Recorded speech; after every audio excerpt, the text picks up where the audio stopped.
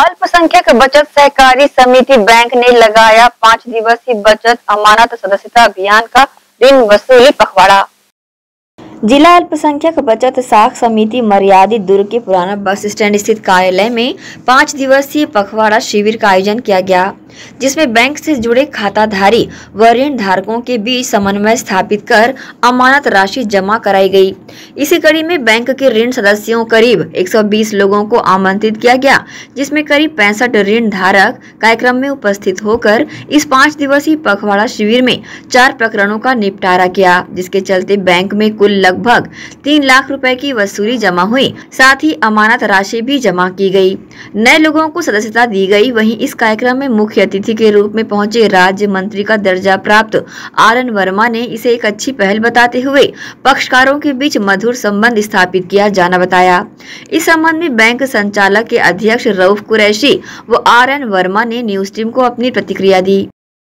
जिला अल्पसंख्यक बचत सहकारी साख समिति, दुर्ग के द्वारा ऋण वसूली पखवाड़ा चलाया गया है। और सदस्यता अभियान का भी कार्यक्रम चलाया गया है, यहाँ पर आकर मुझे बेहद खुशी और प्रसन्नता हो रही है कि जो हमारे माननीय सुप्रीम कोर्ट का जो थीम है, कि विवादों को आपसी सुलहनामा से निपटाया जाए। उसी थीम के तहत, उसी सोच के तहत हमारे यहाँ के माननीय जो अध्यक्ष हैं बैंक के, हमारे संचालक मंडल के सभी सम्मानित सदस्य हैं। उनके द्वारा भी इसी प्रकार से जो ऋणी लोग हैं, जिनका ऋण अदा नहीं हो पाया है, उनके प्रकरणों का निपटारा आपसी समझौता से किया जा रहा है और बहुत सारे प्रकरणों में समझौता किया गया है। आगे भी और गुंजाइश है। बहुत ही पवित्र उद्देश्य से और ख़ास करके गरीबों के सशक्तिकरण के लिए, उनके कल्याण के लिए ये जो समिति है, जिला अल्पसंख्यक बचत साख सहकारी समिति।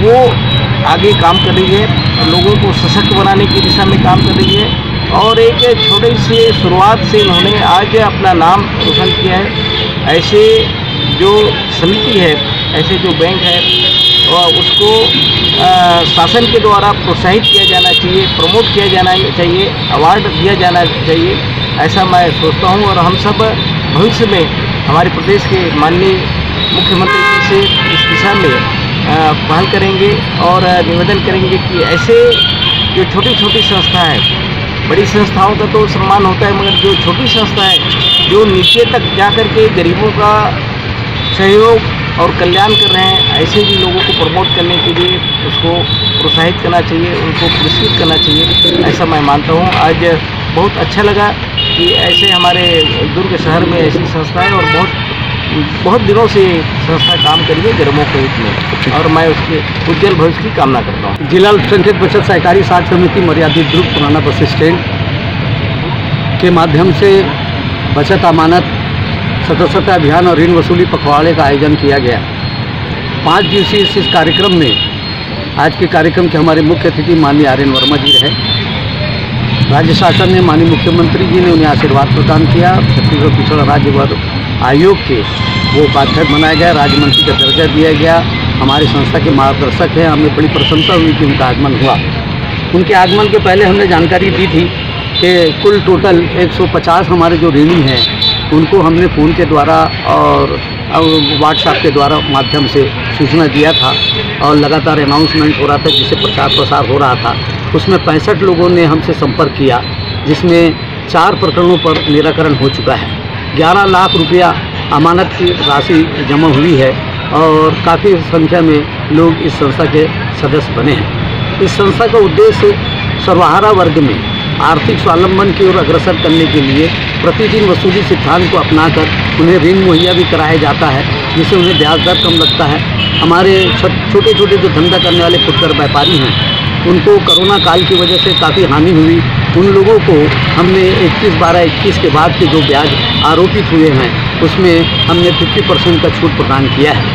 और भी विशेष सहायता हम उनके मा, अपने माध्यम से हम उन्हें देते हैं प्रोत्साहित करते हैं ताकि उनमें बचत की भावना पैदा हो। ये कार्य और सभी संचालक मंडलों सदस्यों खातेदारों अंशधारकों के प्रति मैं आभार व्यक्त करता हूँ और दुर्ग शहर के जनप्रतिनिधि आज यहाँ उपस्थित हुए उनके प्रति मैं आभार व्यक्त करता हूँ। जय हिंद जय रऊफ कुरैशी अध्यक्ष जिला अल्पसंख्यक बचत सहकारी साख समिति मर्यादित।